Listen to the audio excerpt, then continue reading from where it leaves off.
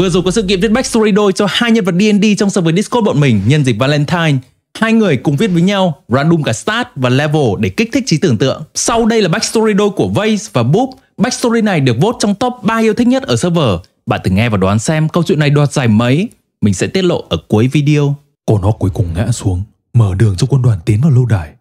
Đối diện với họ là ánh mắt của nữ phù thủy nhìn xuống từ trên cao. Ánh mắt không chút sợ hãi, quét một lượt qua quân đoàn, dừng lại trên một người thành binh. Lớn khôn hơn rồi Justin nhỉ? Giọng cô vang vọng trong đại sảnh. Giọng nói đó làm Justin sững lại. Khuôn mặt này, đôi mắt này, sao nó thân quen đến lạ. Những ký ức tưởng chừng đã ngủ quên từ lâu lắm, bất chợt ùa về. Lúc đó, anh chỉ là đứa trẻ thân mang bệnh tật, đau ốm quanh năm. Là cô đã luôn ở đó, săn sóc anh, yêu thương anh, vui buồn cùng anh. Justin à, tớ mới trông được cho cậu một cái kẹo nhà làm nè. Cô gái vung vẩy cái kẹo với khuôn mặt vui sướng. Justin yêu quý, tớ lại có bài này khó quá, giúp nha. Lần này tớ trả hai cái kẹo luôn. Cô gái thỉnh thoảng lại nhờ anh làm bài tập. Justin ơi, tớ không ngủ được. Bố mẹ tớ dạo này lạ lắm, tâm sự chút đi.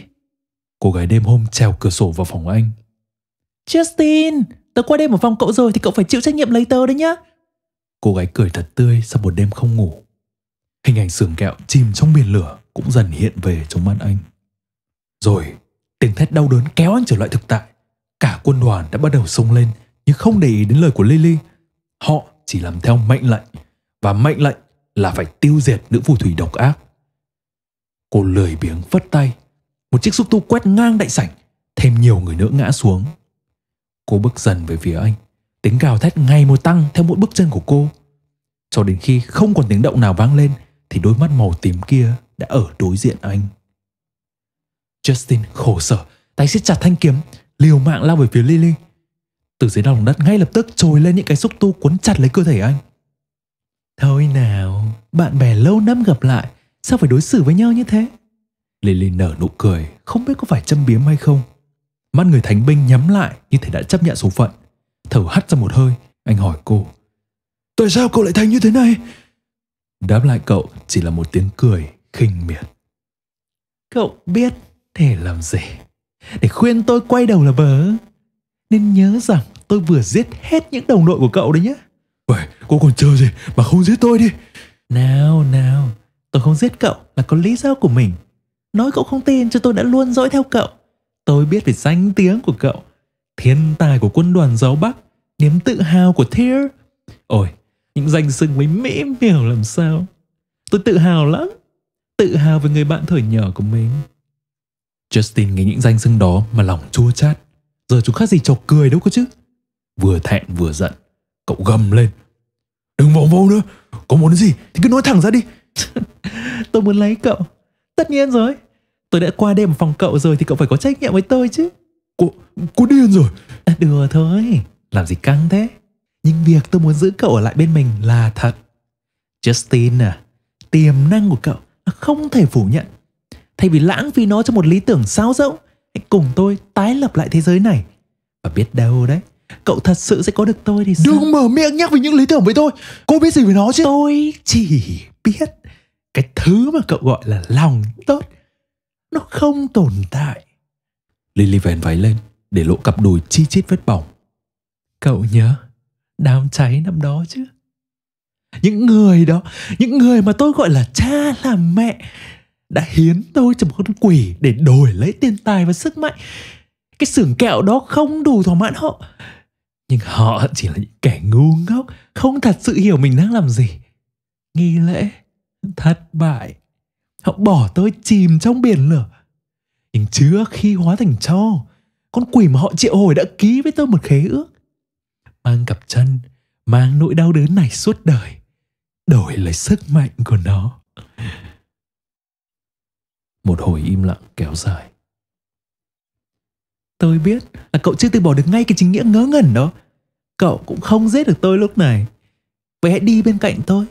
Biết đâu cậu sẽ tìm ra cơ hội. Còn tôi sẽ cho cậu thấy sự tàn nhẫn của thế giới này. Thông tin nhân vật Nhân vật của Bob là Justin Lucero, một Human Paladin of a Vengeance level 4. Còn nhân vật của Vase là Lily, đã từ bỏ họ của mình. một Human Fiend Warlock level 17. Một chuyện tình Yandere thổi một làn gió mới cho việc đi mạo hiểm cùng nhau. Backstory này đoạt đồng giải nhì với một backstory khác trong Discord server bọn mình. Sau đây là backstory đôi cho hai nhân vật D&D viết bởi Chè và Na trong sự kiện Valentine vừa rồi ở trong server Discord chơi D&D của bọn mình. Hắn, Rune Fordes, chỉ là một tên thợ săn dẻo mỏ. Cái mỏ dẻo giúp hắn có được bao món hời, nhưng chẳng hiểu ma xui quỷ khiến thế nào lần này lại dẫn hắn đến đây. Bây giờ, hắn là hiệp sĩ, thứ mà hắn lỡ bốc vét đêm qua. Một hiệp sĩ đã vặt lông cả đàn sói, tay trần trói đầu hươu, phí tiêu xuyên tim hổ, ngáng chân, đổ đại hùng. Hắn đẩy cánh cửa lớn, tiến vào đại điện. Vừa bước vào thì cánh cửa cũng đóng sầm lại. Ừ, mày làm được mà, chỉ là giải cứu con chôn mà. Nếu nó mạnh thì mày chạy. Hắn tự nhủ. Vị anh hùng, xin hãy cứu ta. Tiếng kêu thánh thót của công chúa vọng ra từ trong chiếc cũi sắt. Đứng trước cũi, một ả Dragon Ball, tay lăm lăm đôi song đao đang thủ thế. Luồng khí lạnh từ hơi thở của nó tràn ra khiến sống lưng Rune lạnh toát. Ả lao đến chém, Rune theo phản xạ đưa đoàn đao lên đỡ rồi nhảy bật sang một bên. Ả Dragon Ball dùng đôi mắt sắc lẹm dò xét điểm yếu của Rune. Rune nhanh chóng ném đòn đao về phía Ả rồi đổi sang dùng vũ khí sở trường, chiếc cung ngắn. Biết Rune định giữ khoảng cách, Ả liền áp sát. Tuy là một anh hùng dơm, nhưng kinh nghiệm chiến đấu của Rune cũng không đến nỗi vứt đi.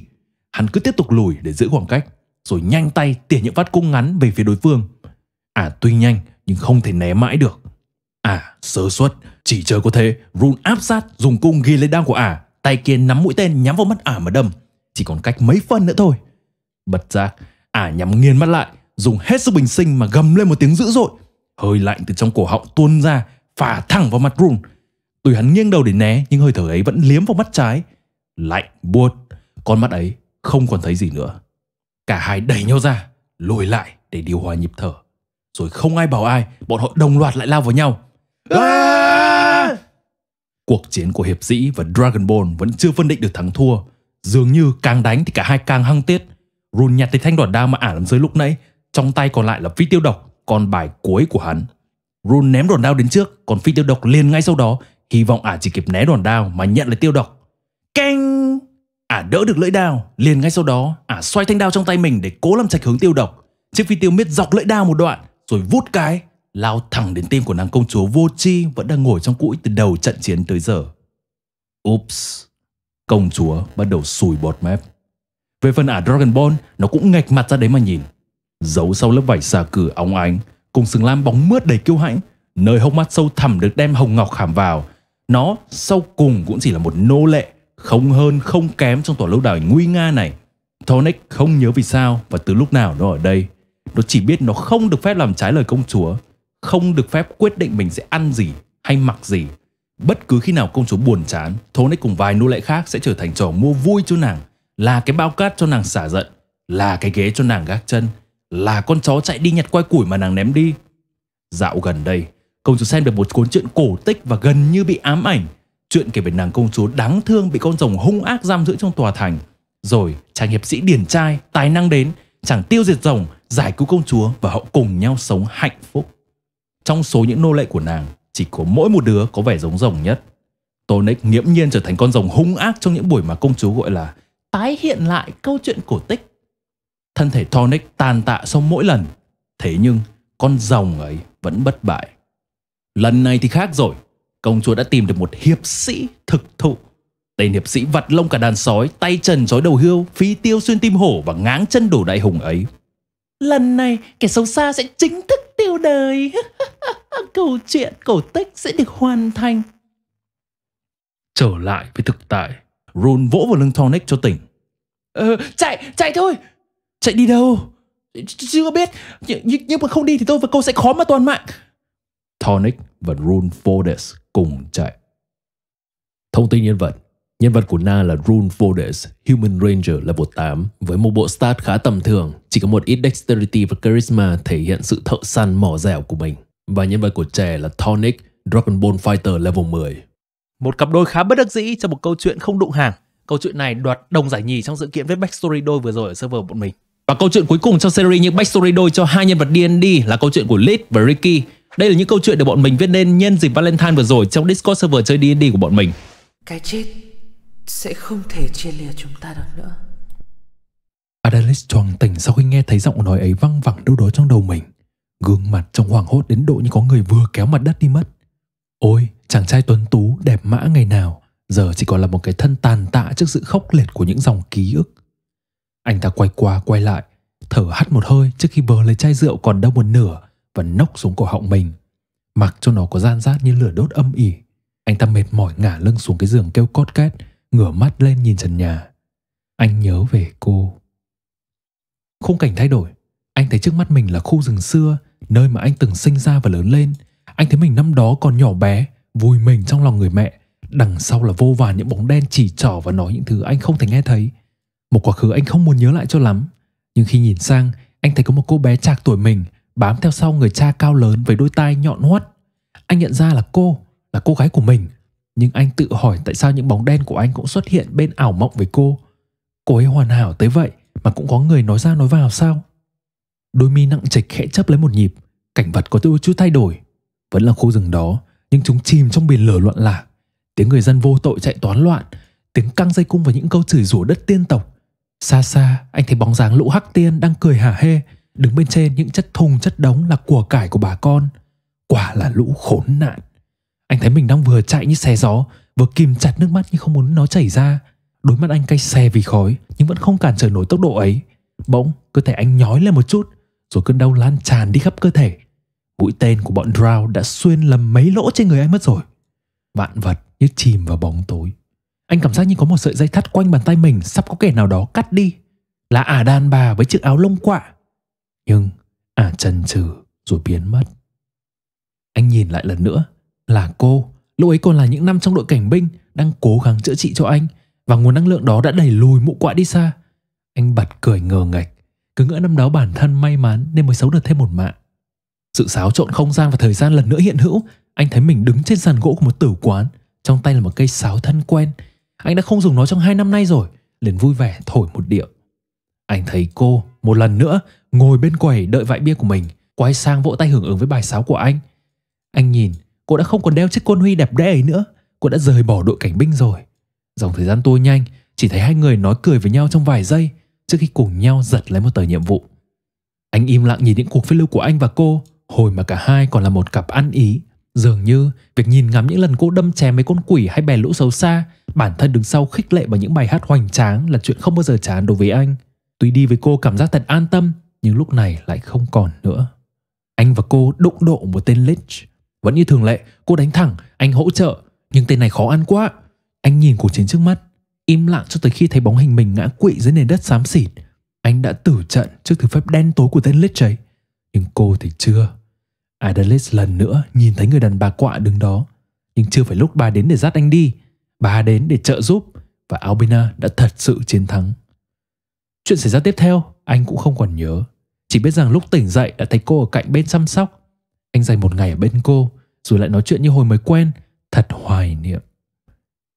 Anh choàng tỉnh. Đã hai năm trôi qua kể từ lúc anh lần cuối gặp cô.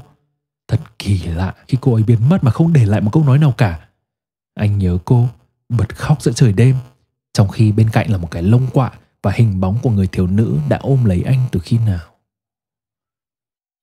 Thông tin nhân vật Nhân vật của lead là Albina Persephone, Shadow Magic Sorcerer 8, Offbreaker Paladin 6 và Hexblade Warlock 3. Nhân vật của Ricky là Adelis Dimitri, College of Whispers Bard 8 và Hexblade Warlock 1. Một cuộc tình éo le với sự nhúng tay của Raven Queen, vị thần của cái chết trong lore D&D. Câu chuyện này đoạt giải nhất trong số các backstory đôi ở server bọn mình.